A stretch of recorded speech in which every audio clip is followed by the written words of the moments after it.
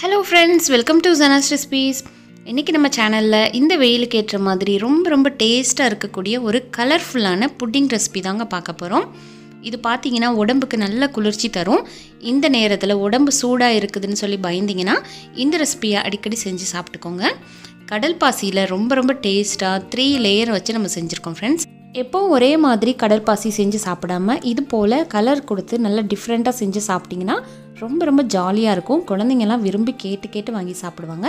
Okay friends இந்த டேஸ்ட்டான கலர்ஃபுல்லான த்ரீ லேயர் கடற்பாசி பார்க்குறதுக்கு முன்னாடி நம்ம சேனல் ஜனாஸ் ரெசிபியை சப்ஸ்கிரைப் பண்ணிவிட்டு பக்கத்தில் இருக்கக்கூடிய பெல் பட்டனை கிளிக் பண்ணிக்கோங்க. இப்போ வாங்க முதல்ல இதுக்கு தேவையான பொருட்கள் பார்த்துடலாம். நான் இன்னைக்கு நல்ல திக்காக இருக்கக்கூடிய பால் வந்து அரை லிட்டர் எடுத்திருக்கேன். இதுதான் வந்து சைனா கிராஸ் கடற்பாசின்னு சொல்லுவோம் இல்லையா? கடல் பாசின்னு சொல்லுவாங்க சைனா கிராஸ்ன்னு சொல்லுவாங்க அகர் அகர் அப்படின்னு கூட சொல்லுவாங்க. இதுக்கு நிறைய பேர் இருக்குது ஆனால் அகர் அகர்னு சொல்கிறது இந்த மாதிரி நல்ல நூல் மாதிரி இருக்கணும். அப்போ தான் உங்களுக்கு கடல் பாசி நல்ல சக்ஸஸாக வரும். இதில் நிறைய சொதப்பல்ஸ் வரக்கூடியதுக்கு வாய்ப்பு இருக்குது அந்த மாதிரி வராமல் இருக்கிறதுக்கு சில டிப்ஸ் எல்லாம் இருக்குது நான் சொல்கிறேன் இப்போ ஒரு பால் பாத்திரம் எடுத்து வச்சுட்டு அதில் அரை லிட்டர் போல் நல்லா திக்காக இருக்கக்கூடிய பால் ஊற்றிக்கோங்க பால் வந்து நல்லா திக்காக இருந்துச்சுன்னா உங்களுக்கு கடல் பாசி நல்ல டேஸ்ட்டாக இருக்கும். தண்ணி எதுவும் சேர்த்துற வேண்டாம். இப்போ பால் சேர்த்ததுக்கப்புறம் நம்ம எடுத்து வச்சுருக்க பத்து கிராம் கடற்பாசியை இதில் சேர்த்துக்கலாம். இதுக்கு வந்து நீங்கள் ஃபஸ்ட்டே ஊற வைக்கணும் அரை மணி நேரத்துக்கு முன்னாடி ஊற வைக்கணும் அப்படிங்கிற அவசியம் கிடையாது. பாலை ஊற்றின உடனே கடல் பாசியை கூடவே சேர்த்துருங்க. சேர்த்துட்டு இதை வந்து நல்லா ஊறி அந்த பால் வந்து கொதித்து வர்ற வரைக்கும் அதிலே இருக்கட்டும். இடையில இடையில நல்லா ஒரு வாட்டி மிக்ஸ் பண்ணி விட்டுக்கலாம். கடற்பாசி சொதப்பாமல் இருக்கிறதுக்கு நீங்கள் ஒரு முன்னாடியே ஒரு அரை மணி நேரமாக கடல் பாசியை தண்ணியில் ஊற வச்சுட்டு அதுக்கப்புறம் தான் பாலில் சேர்க்கணும் அப்படின்னு நினைப்பீங்க. அப்படி எதுவுமே செய்ய வேண்டாம். நான் இன்றைக்கி செஞ்சது நல்லா சூப்பராக வந்துருச்சு. ஃபெயிலியரே ஆகாமல் நான் வந்து எப்படி செஞ்சனோ அப்படியே உங்களுக்கு சொல்லித்தரேன் ஃப்ரெண்ட்ஸ் இப்போ பால் சேர்த்துட்டு கடல் பாசியை கூடவே சேர்த்து நல்லா அதை மிக்ஸ் பண்ணி மிக்ஸ் பண்ணி கரைச்சி விட்டுட்டேன்.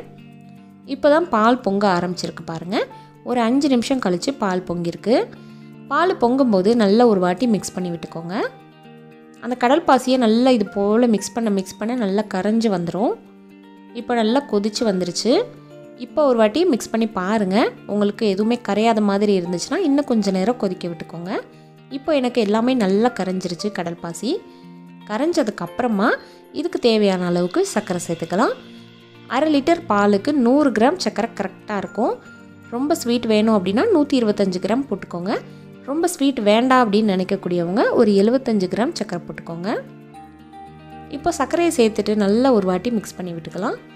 இப்போ கரையாமல் இருந்துச்சுன்னா உங்களுக்கு இப்போ பார்க்கும் போதே தெரிஞ்சிரும் பாருங்கள் நல்லா கரைஞ்சிருச்சு. நம்ம கஷ்டப்பட்டு ஊரையெல்லாம் வைக்க தேவையில்லை.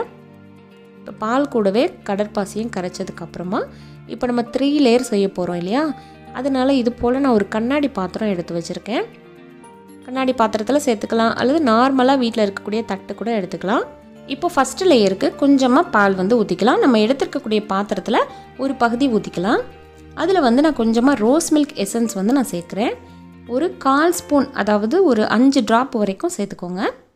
இப்போ சேர்த்துட்டு இதிலே நல்லா மிக்ஸ் பண்ணி விட்டுக்கலாம்.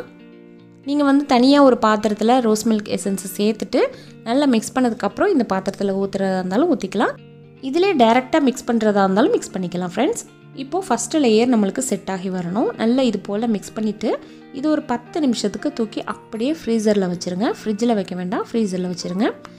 அது வரைக்கும் இதை வந்து லைட்டாக சிம் பண்ணிவிட்டு இது போல் நல்லா ஒரு வாட்டி மிக்ஸ் பண்ணி மிக்ஸ் பண்ணி விட்டுக்கோங்க. பத்து நிமிஷத்தில் இது வந்து நல்லா ஹீட்டாக இருக்கிற மாதிரி பார்த்துக்கணும். இதை ஆற வச்சிட்டிங்கன்னா இதுவும் நம்மளுக்கு செட் ஆகிடும் இப்போது ஃபஸ்ட்டு லேயர் பார்த்தீங்கன்னா பத்து நிமிஷத்துக்கு அப்புறம் நான் ஃப்ரீசர்லேருந்து எடுத்திருக்கேன். நல்லா சூப்பராக செட் ஆகிடுச்சு பாருங்கள் இப்போது அடுத்த லேயரை வந்து நம்ம ஊற்றிக்கலாம் உங்களுக்கு விருப்பப்பட்ட கலரில் நீங்கள் ஊற்றிக்கலாம் நான் வந்து செகண்ட் லேயர் வந்து ஒயிட்டாகவே கொடுக்குறேன். உங்களுக்கு விருப்பப்பட்ட கலர்ஸ் கூட நீங்கள் ஆட் பண்ணுறதுனால ஆட் பண்ணிக்கலாம்.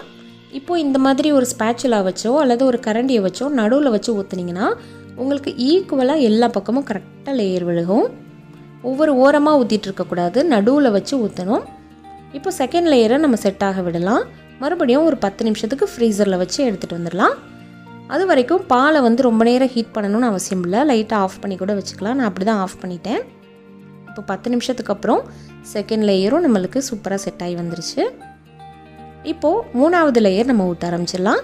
மூணாவது லேயர் வந்து நான் பிஸ்தா எசன்ஸ் வந்து சேர்க்குறேன். இப்போது நம்மளுக்கு அரை லிட்டர் பாலில் கொஞ்சமாக இருக்குது மூணாவது லேயருக்கு இதில் பிஸ்தா எசன்ஸ் வந்து நம்மளுக்கு பச்சை கலரில் கிடைக்கும் இல்லையா?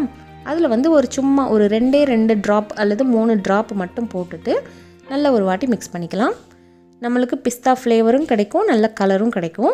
அதுக்காக ரொம்ப சேர்த்துடக்கூடாது ஒரு ரெண்டு ட்ராப் அல்லது மூணு ட்ராப் மட்டும்தான் சேர்க்கணும்.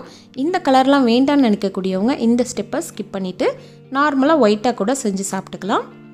இப்போது பச்சை கலர் அதாவது பிஸ்தா எசன்ஸையும் நம்ம நல்லா மிக்ஸ் பண்ணதுக்கப்புறம் மூணாவது லேயரை நம்ம இதில் ஊற்றிக்கலாம் மறுபடியும் நடுவில் இருந்து ஊற்றுங்க ஒரு ஓரமாக ஊற்றுனீங்கன்னா அந்த பால் வந்து ஓரமாக போய் செட் ஆகிடும் நடுவில் ஊற்றும் போது எல்லா பக்கமும் ஈவனாக செட் ஆகும் பாருங்கள் இப்போது பிஸ்தா எசன்ஸையும் ஊற்றிட்டு நம்ம மூணாவது லேயரையும் செட் பண்ண போகிறோம் இந்த லேயர்ஸ் எல்லாம் ஊற்றின உடனே நீங்கள் என்ன பண்ணிடணும் டக்குன்னு கொண்டு போய் ஃப்ரீசரில் வச்சிடணும் ஒரு பத்து பத்து நிமிஷம் வச்சிட்டிங்கன்னா போதும்.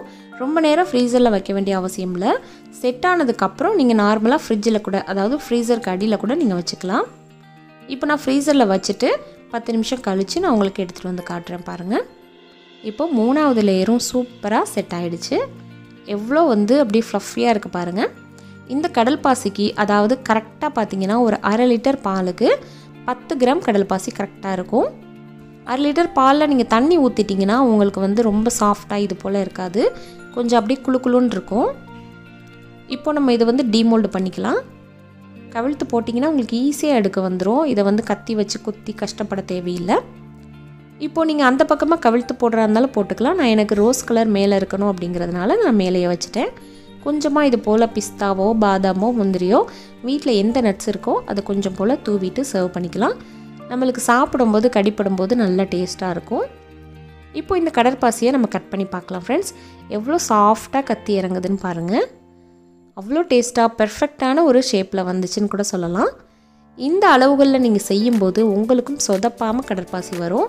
சில பேருக்கு பார்த்தீங்கன்னா தண்ணியை வந்து பாலில் கூட சேர்க்கறதுனால நல்ல ஒரு மாதிரி அதாவது எப்படி சொல்கிறது இந்த அளவுக்கு ஒரு ஸ்டிஃபாக நிற்காது அதுக்காக தான் இந்த மெஷர்மெண்ட்டில் நீங்கள் செய்யணும்.